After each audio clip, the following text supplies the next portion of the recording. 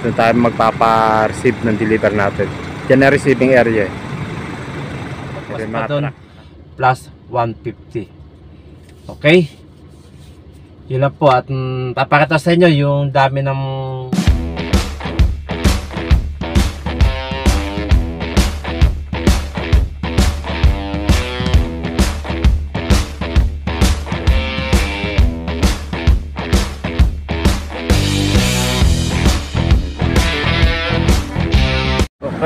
mga kaibigan.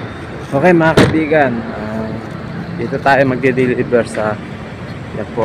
Kita ho ninyo. Landers Paco, Maynila.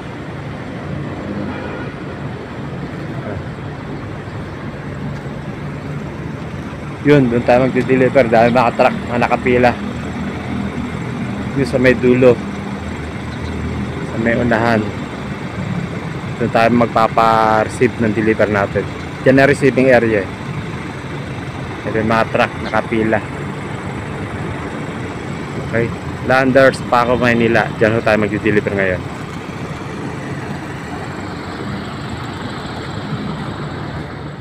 Okay, good morning po mga kaibigan, mga kasama. Time check 6.20 ng umaga. Bali, ngayong araw na to, bali bumiyahe tayo ngayon dito sa tracking. At ang area ko po dito sa may Maynila, sa may Paco, Maynila. Kasi dito tayo magde-deliver sa may Landers. Ayan. Mamaya papakita sa inyo konti yung ano yung Landers and then yung pinaka receiving area saka yung mga nakakasabay kong mga truck, mga deliver din po yun. So nakapila po ako doon. So, so ngayon, waiting po ako tawagin para once na itawag ako doon ng guardia na ipasok ko na yung deliver ko, yung item ko, lalapit na po ako doon para magpa-receive ng deliver kong item, mga box. Okay, bali dito 16 box lang po, o 16 boxes lang po ang ini-deliver ko rito sa ano sa ay sorry sorry ah. Ay sorry po. Ah 18 boxes po. 18 box ang i-deliver ko po rito. Yan. Bali dito sabi ko kanina Manila area po ako. Landers pa ako Maynila 18 boxes. O 18 box. At susunod ko po yung SM Manila. Isang box lang po yun. Di-deliver ko sa Save More. Dito sa may nagtahan, nagtahan bridge sa may ilalim po ng tulay i-deliver din po ako doon ng isang box. Bali total boxes po 20 pieces o 20 boxes po. 18 dito sa Landers SM Manila isang box Save More nagtahan isang box bali 20 na box. Okay? Yun po um, syempre sabi ko sa mga nakaram vlog ko po pagka Metro Manila area ang ibabayad po sa akin ni tracking dito ay 1,590 pesos. Yun po ang ibabayad sa akin ni tracking. Kasi Manila area lang po ito. Sa isa pa ah, sedan rate. Yan pang kotse lang po to. Konti lang po yung kakarga ko. Pero kung dala ko MPV, SUV, mga van syempre mas mataas to sa 1,590 ang ibaba sa tracking kasi mas malaki sasakyan yun eh. Mas marami makakarga yun di po ba? Kaya sinabi ko kanina sedan rate lang po konti lang po makakarga ko rito. O 18 boxes lang. Yun ibabad po sa tracking dito. 1,590 pesos. 3 drops. Eh sabi ko nga rin nakarang video ang minimum po ng drop dito sa tracking po 4 drops po yun apat na drop po. Pag lumagpas pa doon plus 150 okay? Yun lang po. At mm, papakita sa inyo yung dami ng box na i-deliver ko rito kung gaano kalaki. Yung iba may mabigat din pero kaya-kaya ko naman buhatin yun. Kumbaga may postcard naman eh. Yun ang makakatulong sa pagbubuhat o pagtutulak para ma-deliver ko. O may lapit ko doon sa receiving area yung item na o box na di-deliver ko sa kanila Okay? Napapakta ako sa inyo ha. Nasa may compartment ko eh. Okay?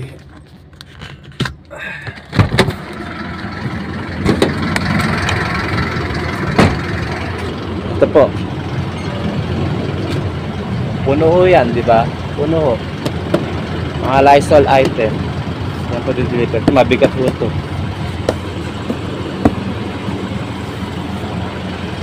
Okay, kita ko ninyo. May maliliit, ito may magang dito. Pero ito mabibigat po ito eh. Yan.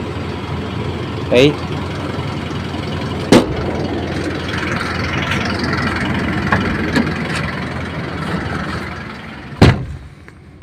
Yun po, nakita ho ninyo, ganun po kadami yung box na di-deliver ko. Puno yung laman ng compartment ko.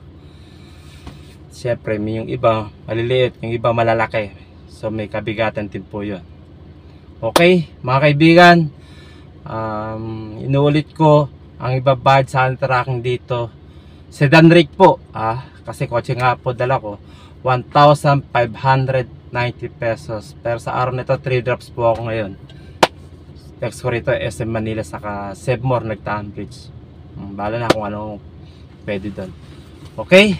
Mga kaibigan, mga kasama. Lagi po tayo mag-iingat sa ating mga biyahe. Tsaga-tsaga lang po at sigurado kikita po tayo dito ng maganda. Okay?